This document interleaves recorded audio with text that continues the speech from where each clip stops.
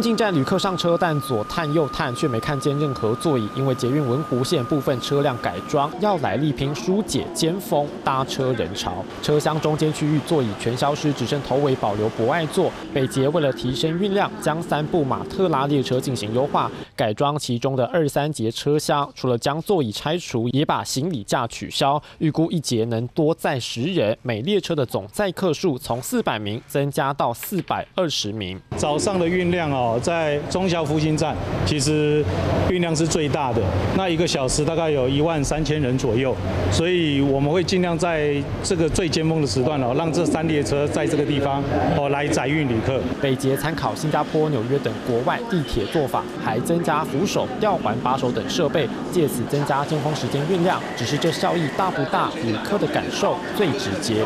位置比较宽一点，但是就少了可以坐的位置，这样就普普通通。